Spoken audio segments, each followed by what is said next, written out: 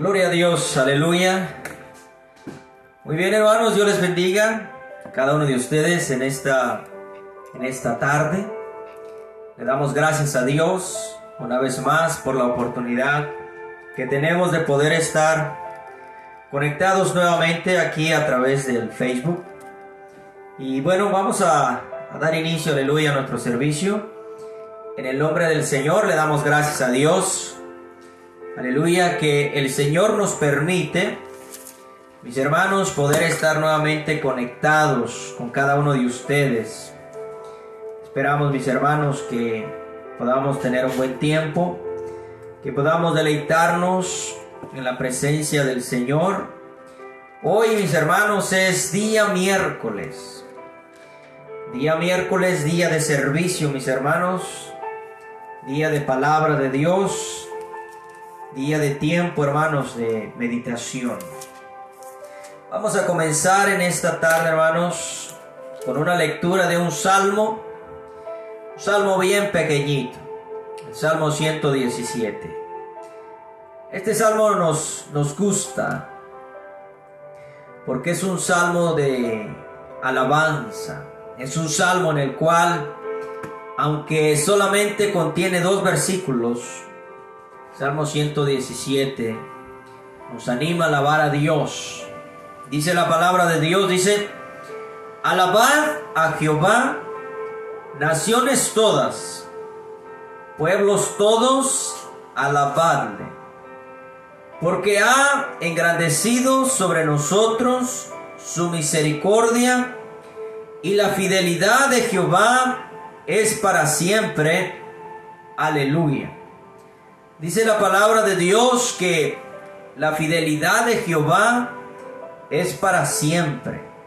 Es decir, Dios es fiel no solamente un periodo de tiempo, sino que dice que es fiel para siempre. Le damos gracias a Dios, porque Él nos ha permitido, hermanos, hasta el día de hoy estar de pie hasta el día de hoy seguir adelante sabiendo que caminamos de su mano, que Él va con nosotros y que no estamos solos, que Cristo es nuestro Señor. Vamos a orar mis hermanos, vamos a darle gracias a Dios porque Él nos permite, como dijimos, estar aquí delante de ustedes para poder tener este servicio en esta noche. Oremos al Señor. Amado Jesús, en esta tarde le damos gracias por la oportunidad que usted nos da, Señor. La oportunidad que nos da de poder estar delante de usted una vez más, llevando este servicio. Queremos pedirle, Señor, que usted nos ayude, que todo lo que hagamos redunde para honra y gloria de su nombre. Le doy gracias, Señor porque a pesar, oh Dios, quizás del cansancio, de las ocupaciones que pudimos tener durante el día, sabemos que el día de hoy tenemos un servicio para usted, un tiempo en el cual debemos nosotros estar con usted. Ayúdenos en el nombre de Jesús. Amén. Amén. Dios les bendiga, mis hermanos, a cada uno de ustedes en esta en esta noche, yo espero, mis hermanos, como siempre lo he dicho, de que podamos tener esa disciplina, aleluya, ese tiempo, saber, hermanos, que a las siete y media, los días miércoles, a lo mejor nos pasaremos con unos dos o tres minutos, pero yo quiero verlos animados, esperando el servicio, sabiendo que el hermano Eleazar, el pastor, va a salir al aire, que deben estar listos, hermanos. Bien, en esta ocasión, mis hermanos, vamos a tener el tiempo de la meditación. Y para ello quisiera, hermanos, que ustedes que tienen sus Biblias en sus casas, que busquemos en la primera epístola del apóstol San Juan, capítulo 2. Y allí mis hermanos estaremos dando lectura a la palabra de Dios de el versículo 1 al versículo 6. Primera epístola del apóstol San Pablo, del apóstol Juan, perdón. Primera de Juan, aleluya, capítulo número 1, versículos del 1 al 6. Y mis hermanos, en esta noche quiero tratar el tema titulado El deber del cristiano. Hemos tomado temas muy similares. Hablamos, mis hermanos, el domingo por la tarde bajo el tema El progreso del cristiano. Eh, hace ocho días, unos días atrás, hablamos sobre el andar del cristiano. Estamos tomando, mis hermanos, ese énfasis, cómo debe de ser la vida del cristiano, cómo debe progresar, cómo debe andar. Y hoy vamos a hablar del deber. Y con el favor de Dios, la palabra de Dios nos va a enseñar, mis hermanos, porque cada uno de nosotros tenemos un deber con Dios. Recuerde que el deber no es con el hombre. Nuestro deber es con Dios. Porque yo sirvo a Dios y no sirvo al hombre. Por eso todos nosotros tenemos ese deber. Amén, mis hermanos. Gloria a Dios. Bien, usted que tiene su Biblia entonces, hermanos y hermanas que se acaban de conectar, hemos pedido la lectura, aleluya, allí en Primera de Juan, capítulo 2, versículo 1 al versículo 6. Y dice la palabra de Dios así, en el nombre de nuestro Señor y Salvador Jesucristo.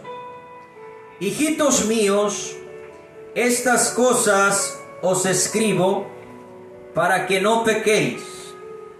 Y si alguno hubiere pecado, abogado tenemos para con el Padre a Jesucristo el justo. Y Él es la propiciación por nuestros pecados, y no solamente por los nuestros, sino también por los de todo el mundo. Y en esto sabemos que nosotros le conocemos si guardamos sus mandamientos.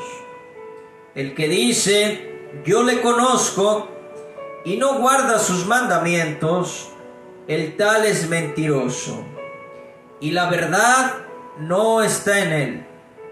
Pero el que guarda su palabra, en este verdaderamente el amor. Aleluya. Dios se, Dios se ha perfeccionado, por esto sabemos que estamos en Él. Y el versículo número 6, donde haremos énfasis a nuestra enseñanza, dice, el que dice que permanece en Él, debe andar como Él anduvo. Vamos a observar la palabra debe, ¿verdad? ¿Cuál es nuestro tema para esta tarde? el deber del Hijo de Dios o el deber del cristiano, ¿verdad? Recuerden mis hermanos que hemos explicado muchas veces que la palabra cristiano es verdad para aquel seguidor fiel de Jesucristo. Antes a los hijos de Dios, a los seguidores de Jesús, los conocían como los del camino, ¿verdad? no tenían un nombre, solo los del camino, porque Jesucristo dijo, yo soy el camino, la verdad y la vida. Y por eso, hermanos, ellos eran los del camino, pero en Antioquía se les reconocía, o se les reconoció, dice la Biblia, por primera vez como cristianos. Es decir, el cristiano tiene un deber como cristiano, como hijo de Dios. Y le decía hace un momento, hermanos, que el deber no es con la iglesia, no es con el pastor. El deber es con Dios. Porque nosotros hicimos un compromiso con Dios. Y ese compromiso fue el servirle. El día que el Señor nos salvó, el día que el Señor nos alcanzó, nosotros hicimos ese pacto con Él hicimos ese compromiso, más bien usemos la palabra compromiso, el pacto los hace Dios, aleluya, con los patriarcas. Pero nosotros hicimos ese compromiso con Él de servirle. Ahora bien, hermanos, el andar o el deber, perdón, el deber, nuestro tema, el deber del Hijo de Dios. Desarrollemos el tema y observemos el versículo 6. Para los hermanos que están ingresando a nuestra transmisión, estamos estudiando la palabra en Primera de Juan capítulo 2 y estamos tomando como referencia el versículo 1 al versículo 6, pero en el versículo 6 es donde vamos a centrar nuestra enseñanza. Dice la palabra de Dios en el versículo 6, el que dice que permanece en él. Bien, aquí dice el apóstol, el que dice que permanece en él. Ahí vemos, mis hermanos, una coma que dice, debe, debe, debe andar como él anduvo.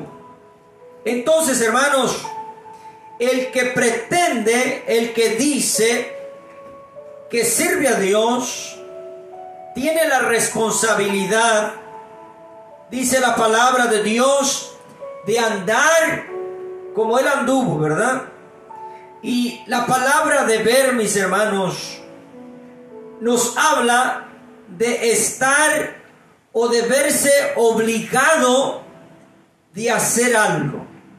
En otras palabras, el Hijo de Dios está obligado por voluntad propia a hacer, ¿verdad? Gloria al Señor, algo con respecto a su vida espiritual y con respecto a Dios.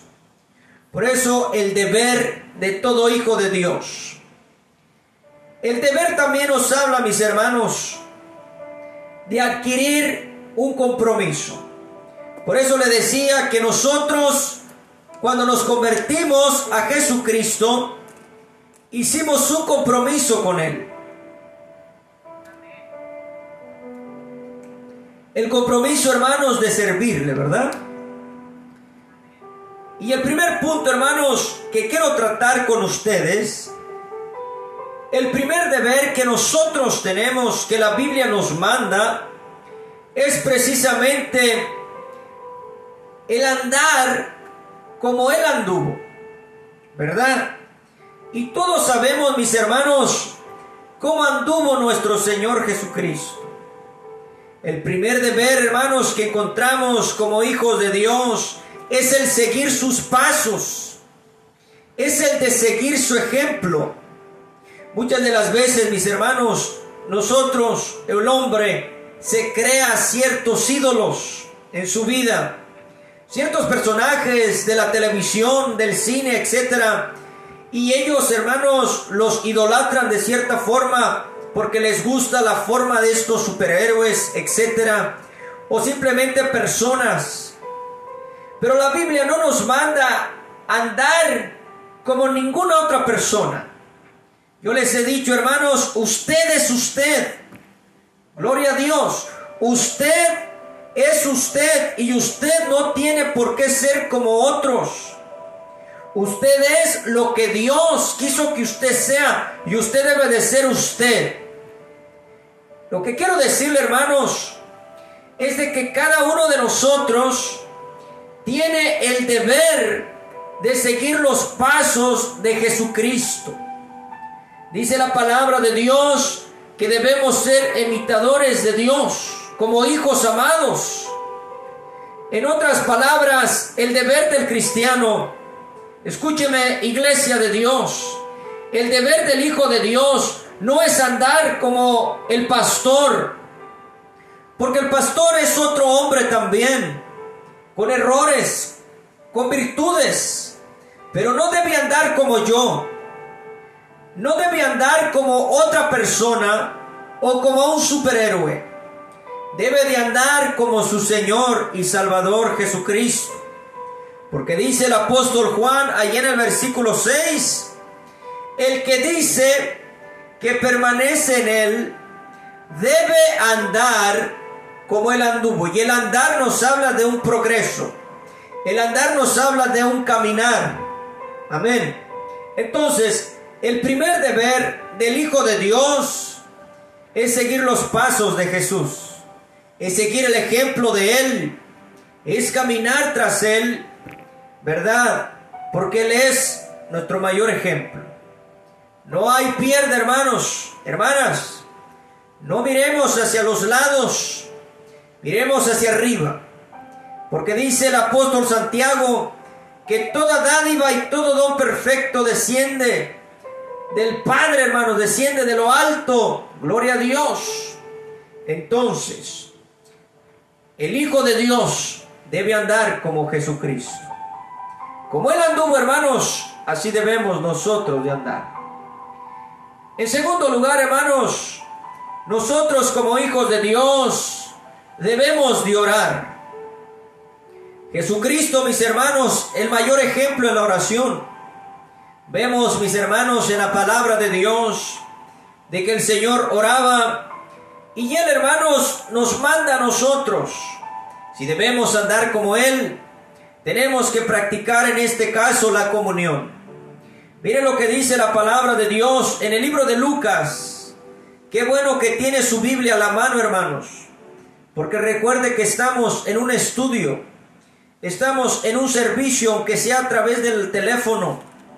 Hermanos míos, porque estamos usando la Biblia.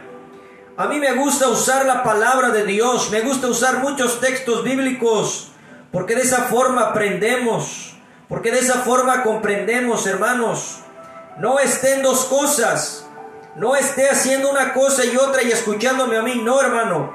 Esa no es la forma correcta. Usted tiene que estar atento al mensaje porque estamos si estuviéramos en un servicio. Si usted se desatiende no va a poner atención y va a ser tiempo perdido, hermano. Por eso le recomiendo, así como estoy viendo a mi hermana con su Biblia en allí en el teléfono, gloria a Dios, qué bueno. A ustedes no puedo verles los hermanos del Facebook, pero sin duda cada uno de ustedes tiene su Biblia, qué bueno. Y si no la puede tener por alguna razón, le animo que el próximo servicio se anime, hermanos, y usemos la Biblia. Bien, dice la palabra de Dios en el libro de Lucas capítulo 18 con respecto a la oración. La oración, hermanos, les he dicho que es la comunión que tenemos con el Padre. Dice la palabra de Dios, dice también le refirió Jesús una parábola sobre la necesidad de orar siempre y no desmayar.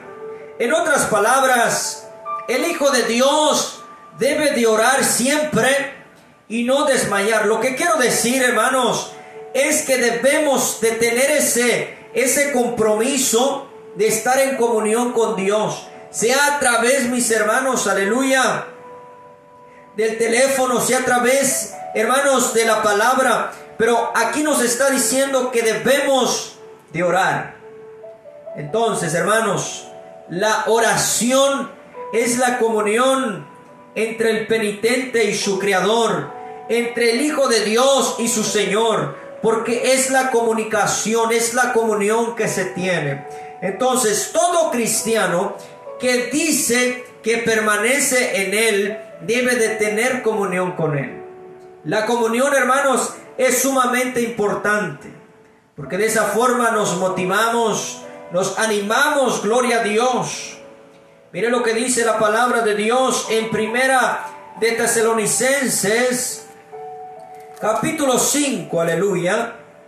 Primera de, uh, primera de Tesalonicenses, capítulo 5, dice el apóstol Pablo en el, en el versículo, aleluya, 17 Aleluya, gloria a Dios.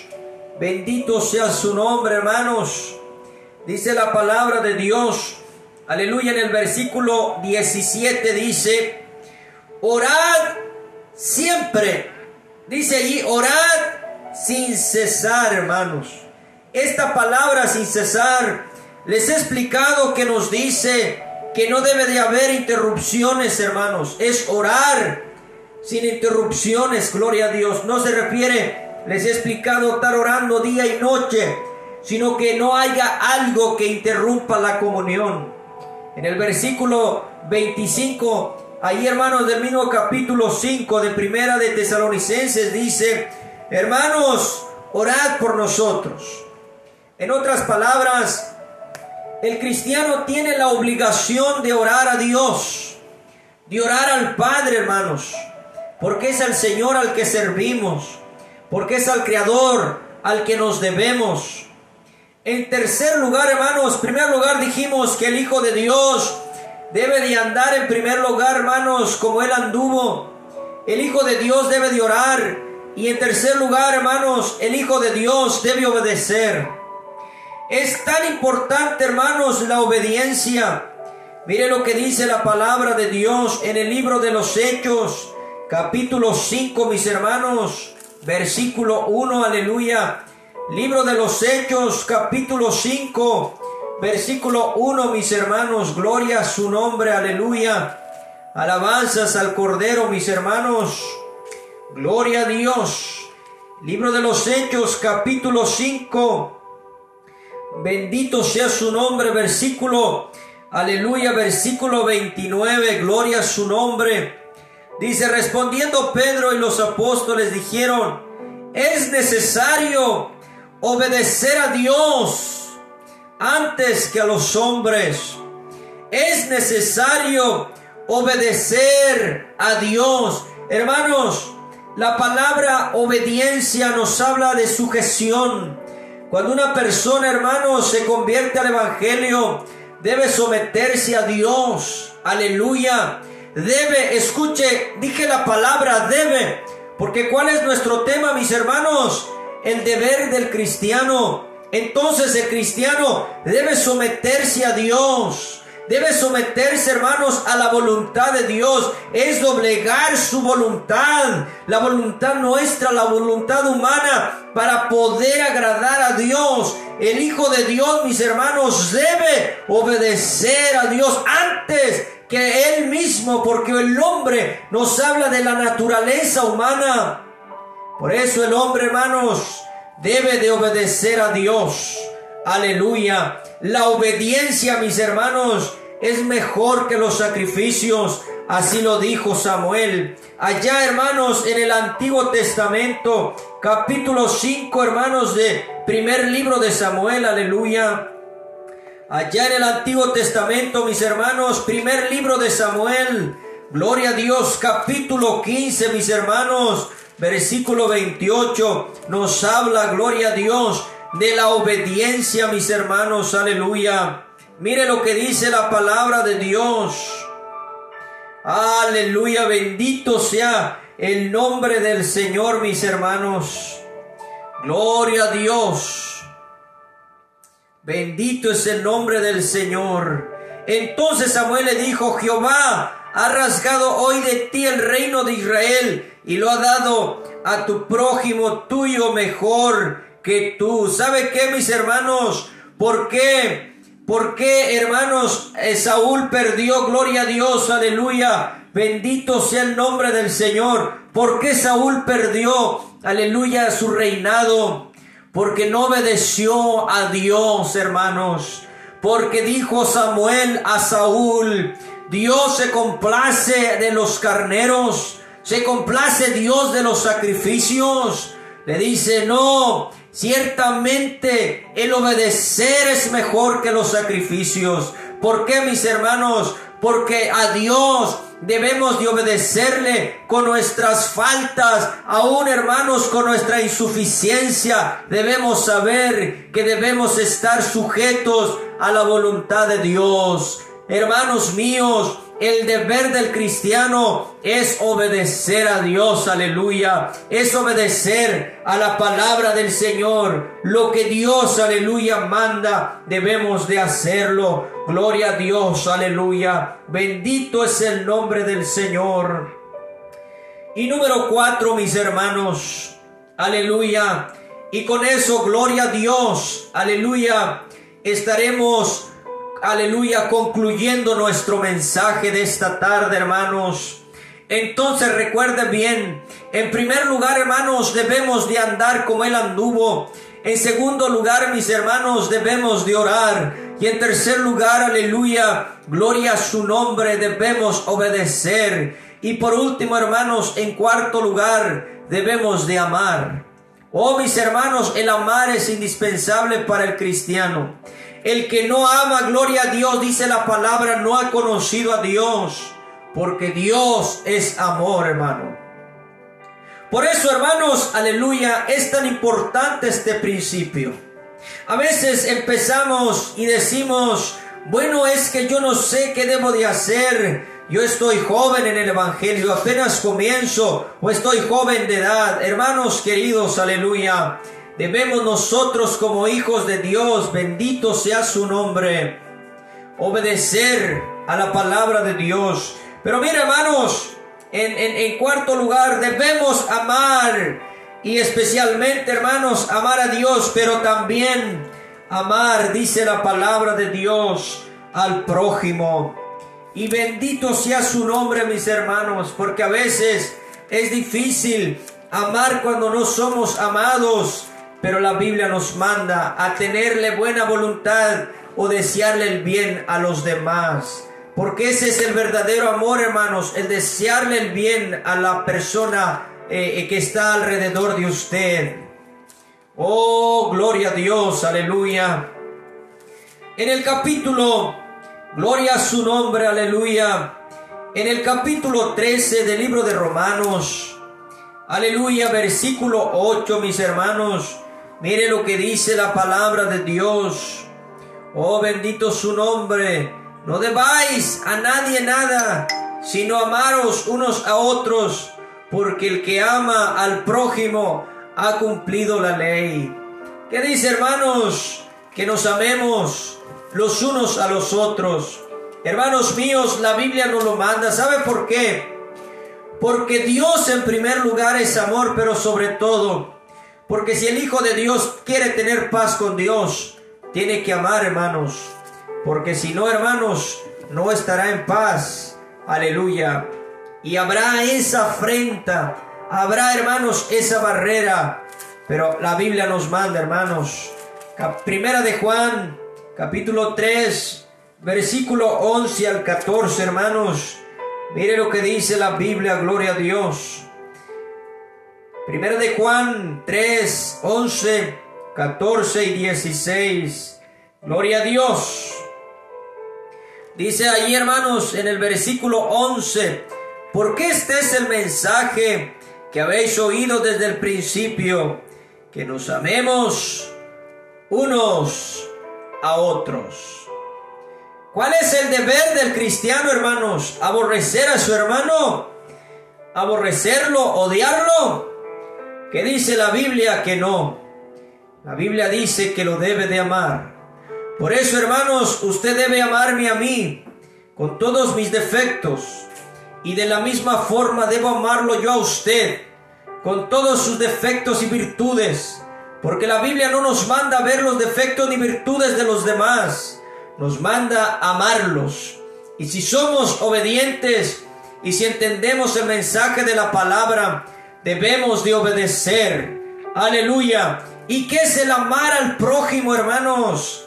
El amar al prójimo es desearle el bien, es desearle lo mejor, que Dios lo bendiga, que Dios lo ayude y no desearle el mal, hermanos, porque eso no es amar. El versículo 14 de eh, hermanos allí de Primera de Juan capítulo 3. El versículo 14 dice la palabra de Dios, aleluya. Dice así, nosotros sabemos que hemos pasado de muerte a vida en que amamos a los hermanos. El que no ama a su hermano permanece en muerte. ¿Qué dice la Biblia, hermanos? En esto, no en lo que usted sepa, no en lo que usted dice, no en lo que usted predica, no lo que usted alaba, no, en esto dice, sabemos que hemos pasado de muerte a vida, en que amamos a los hermanos. Hermanos queridos, usted puede tener un maravilloso talento, Puede, hermanos, tener una voz privilegiada o puede predicar de lo mejor. Pero esa no es una señal que usted ha pasado de muerte a vida. Esa no es una señal, aleluya, de que usted es un verdadero hijo de Dios. Hermanos, aquí la Biblia dice, en esto sabemos que hemos pasado de muerte a vida, en que amamos a los hermanos. Aleluya, bendito el nombre del Señor. ¿Por qué dice esto, mis hermanos?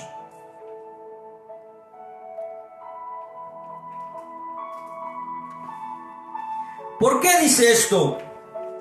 Es simple. Porque el mundo en primer lugar, el mundo, el hombre, se aborrece. ¿Verdad que sí, hermanos? ¿Verdad que sí? La gente se aborrece, la gente se odia cuando no tienen a Cristo en el corazón. Y cuando venimos a los pies de Cristo, así venimos todos, hermanos, sin excepción. Todos venimos de alguna forma con eso en el corazón. Y la forma clara de que usted ha pasado de muerte a vida es de que usted empieza a amar a aquel que usted aborrecía. Hermanos míos, ahora usted, aleluya, le desea el bien. Esa es la señal número uno, iglesia de Dios. Aquí no hay de que yo soy un gran cantante, un gran salmista, un gran predicador. Aquí eso no vale, hermano. Aquí vale y dice la palabra, nosotros hemos nacido de nuevo, hemos pasado de muerte a vida si amamos a nuestros hermanos. ¿Verdad que sí? Lo leo nuevamente para los hermanos que están ingresando. Dice en primera de Juan capítulo 3 versículo 14, nosotros sabemos que hemos pasado de muerte a vida en que amamos a los hermanos. El que no ama a su hermano permanece en muerte. A ver, a ver, a ver, a ver, a ver, a ver aquí mis hermanos. Vamos a ver, vamos a ver algo y vamos a hablar claro como decimos. La Biblia es clara y no tiene interrupción o no hay forma de contradicción. La Biblia dice, aquí dice hermanos, el que no ama a su hermano permanece en qué? En muerte. ¿Por qué? Porque ese es, hermanos, esa es la prueba de amor. Porque Dios es amor. Y si usted ha nacido de Dios, la evidencia en su vida va a ser amor, hermano. De veras, de veras. Si usted que está en Cristo y que tiene años en el Evangelio y tiene rencor y tiene odio por las personas, déjeme decirle que usted necesita empezar. Porque Dios es amor y lo que es nacido de Dios produce lo de Dios. Y el fruto de Dios es el amor, porque dice la Biblia que el fruto del Espíritu Santo es el amor. Así que mis hermanos, iglesia de Dios, entiende este principio, entiende este principio, que debemos amar. Debemos, es nuestro tema, deber, el deber del cristiano, el deber del Hijo de Dios. Y el deber, hermanos, es una obligación. Es algo que tenemos que hacer. Por último, hermanos, el versículo 16. Ahí mismo, primera de Juan 3, 16. Dice la palabra, en esto hemos conocido el amor. El que Él puso su vida por nosotros. También nosotros debemos poner nuestra vida por los hermanos. A ver, mis hermanos, aquí el apóstol Pablo va un poquito más allá, que es el poner nuestra vida.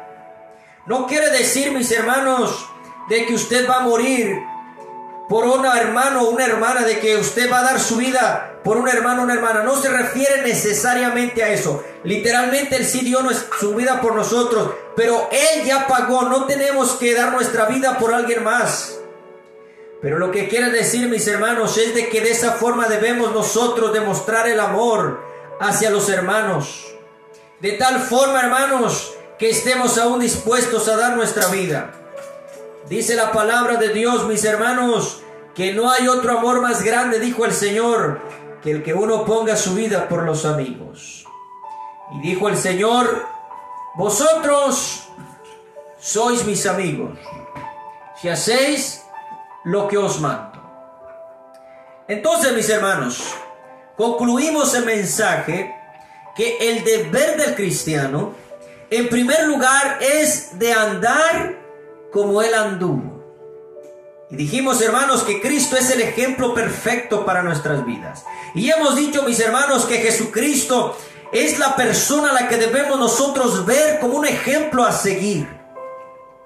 No a un superhéroe, mis hermanos, aleluya, carnal, no a un hombre humano, no confiar en el hombre, andar como él anduvo.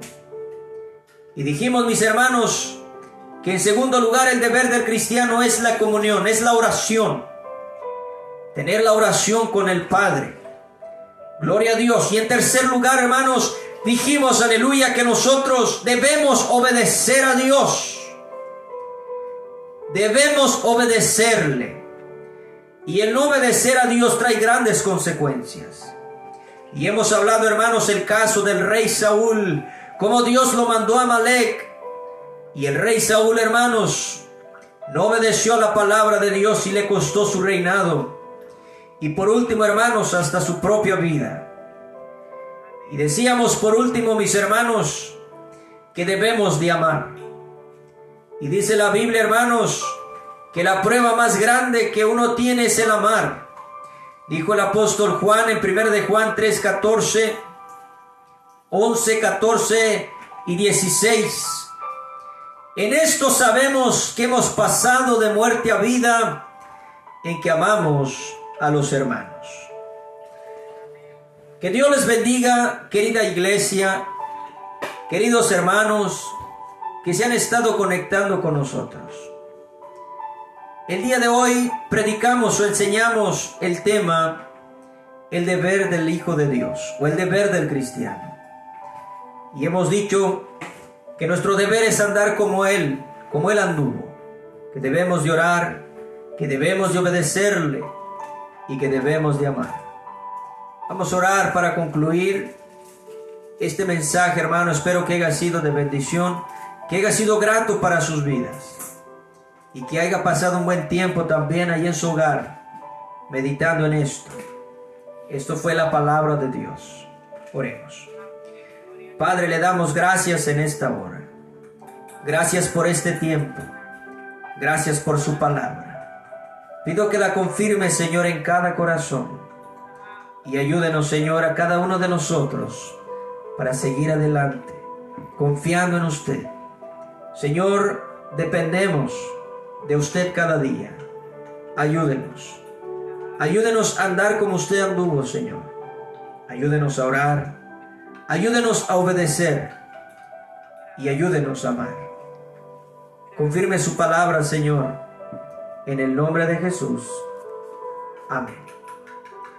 Muy bien, mis hermanos.